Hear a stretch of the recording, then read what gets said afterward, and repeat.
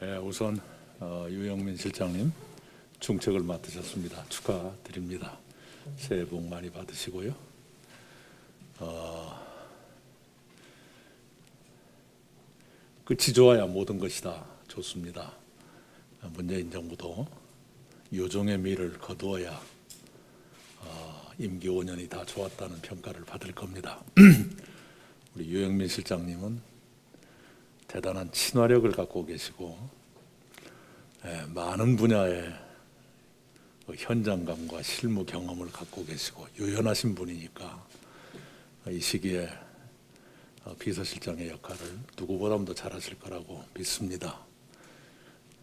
예전에 노영민 전 비서실장님이 후임자가 이렇게 된다는 걸 예상하지 않았을 때였을 겁니다만은 어, 한 번은 그런 농담을 했어요.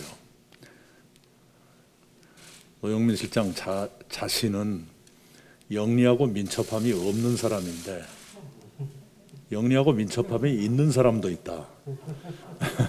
그분이 바로 유영민 씨다. 그런 말씀을 했어요. 우리 노영민 전 실장의 그 말씀이 예, 어, 겸양의 말씀이었겠지만 영리하고 민첩함을 많이 예, 보여주시기 바랍니다. 어, 당정청 어, 운명 공동체입니다.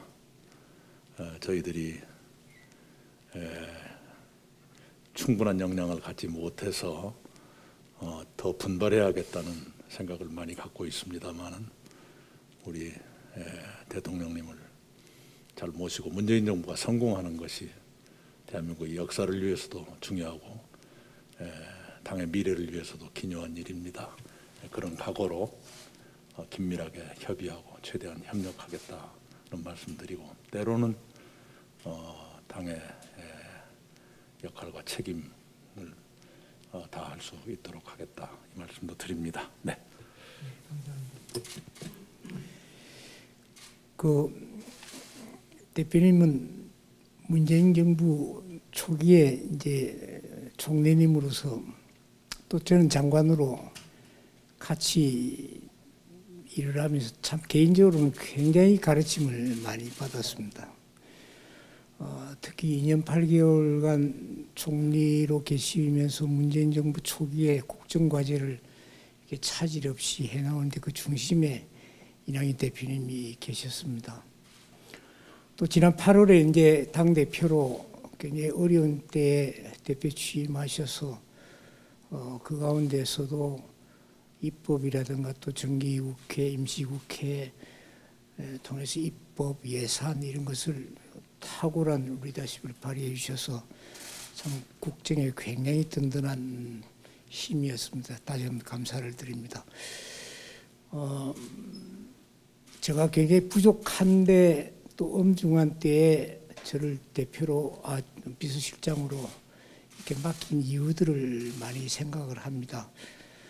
음, 대표님께서 저보고 밤의 총리라고 이야기해서 굉장히 오해도 많습니다만 사실은 제가 술을 거의 전혀 못합니다. 그럼에도 장관들끼리의 소통이라는 게 굉장히 중요하기 때문에 그때 밤에는 어떤 때는 총리님도 같이 오시죠. 그래가지고 뭐 장관들이 굉장히 이 소통이 활발했습니다. 그래서 제가 비서실장으로 있으면서 당과 어, 그런 측면에서 열심히 소통을 하고 어, 또 바깥에 있는 다양한 정서, 다양한 의견들을 대통령께도 잘 전달을 하고 긴밀하게 그런 쪽에 열심히 아마 그런 것 때문에 에, 저를 또 비서실장으로 맡겠다 생각하기 때문에 막 부족하지만 대표님께서 계속 많이 지도해 주시고 많이 도와주셨으면 부탁드리겠습니다. 감사합니다.